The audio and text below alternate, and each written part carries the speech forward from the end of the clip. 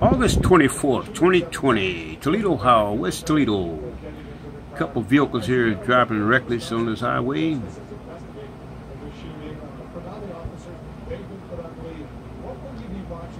Okay, the white car followed by another vehicle. Ready roll.